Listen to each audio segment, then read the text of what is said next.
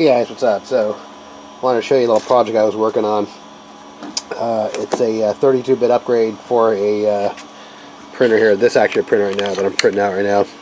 So I'm still running the original ANET board. I mean, this is heavily modified. This, that's my original Craigslist printer.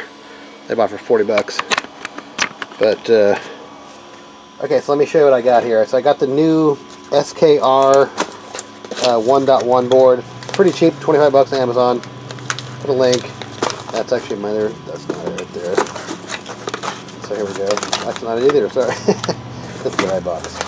So this should be the SKR uh, 1.1. It's a 32-bit board.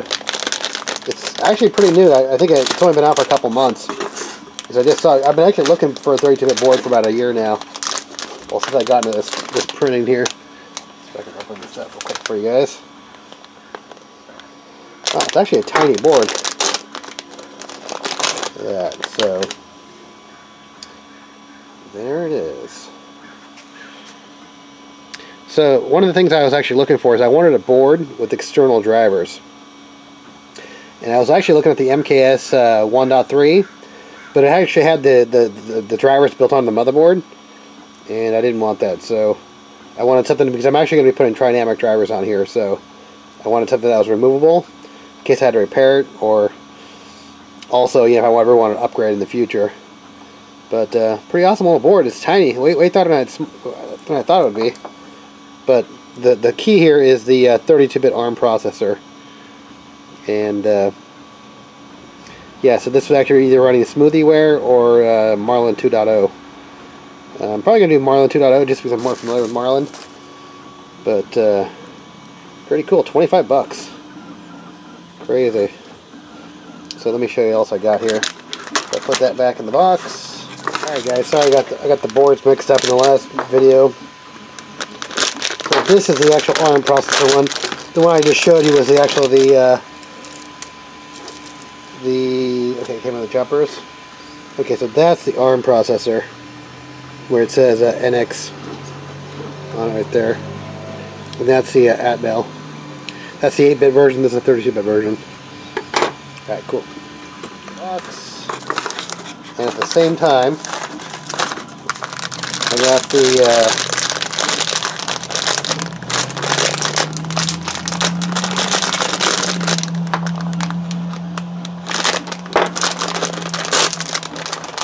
got this thing right here. This is the uh, TFT uh, color touchscreen. Guess it's version 4 now, that's what it says on the thing.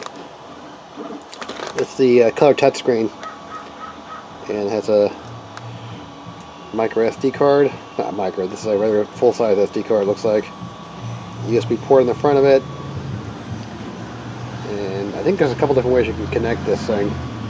Either, either over serial or I gave, gave you the single cable, but I thought I was reading. I haven't really started messing with this in depth yet, but on these boards you can either connect it here or here for, for the different kinds of LCDs but this actually this this LCD is actually really a computer within itself.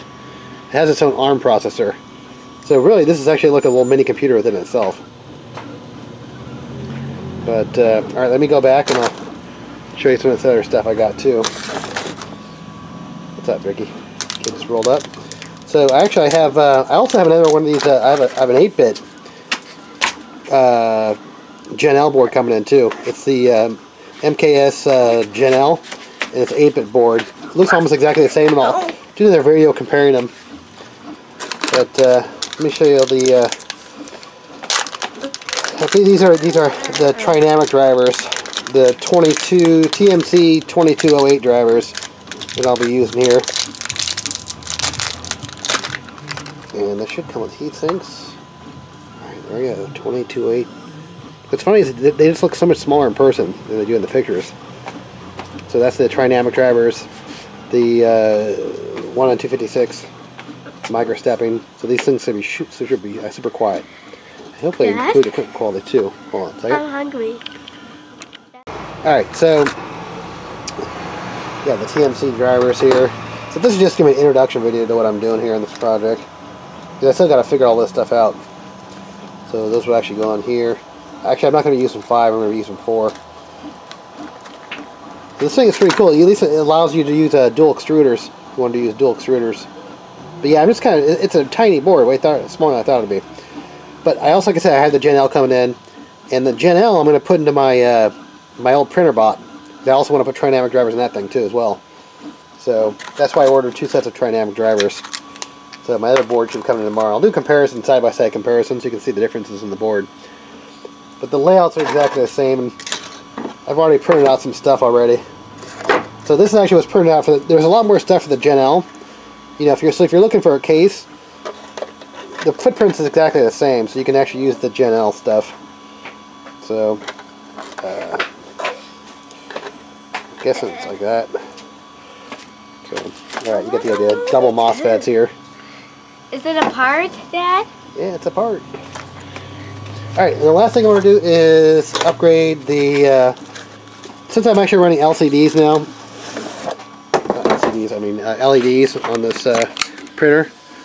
I got LEDs, and I'm also powering a uh, a uh, Raspberry Pi uh, 3. I decided to actually put a 40 amp power supply in there. So I recently I just upgraded to a 30, but I'm having some weird print issues, and I don't know if it's related to power consumption or not. I feel like every time the heat bed comes, see these lines like that? See, they're kind of like layered. Like I'm thinking, is it shifting? But the thing is, it's really consistent. The lines and layers. So I don't know if it's like the heated bed going on and off and messing with the actual uh, bed temperature or the, I mean the extruder temperature. There's a couple different areas of there, you know, but it's it's really consistent the pattern, and that's what I'm trying to. I don't know if it's a power supply issue or not, so decided to upgrade the power supply, and I did actually buy a little heatsink. This is for a Raspberry Pi 3, and I know that nobody actually does this in the pictures, but I was thinking I might try to put like a little heatsink on this ARM processor. I don't know if that's even necessary, but I thought it'd be kind of cool. But, yeah, extra cooling.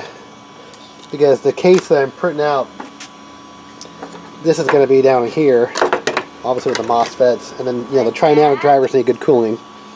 So, hold on one second, Driggy. Yeah, I was trying to find out. Okay. So then the uh, fan here, I have a 120 millimeter fan that's going to be going on top of here.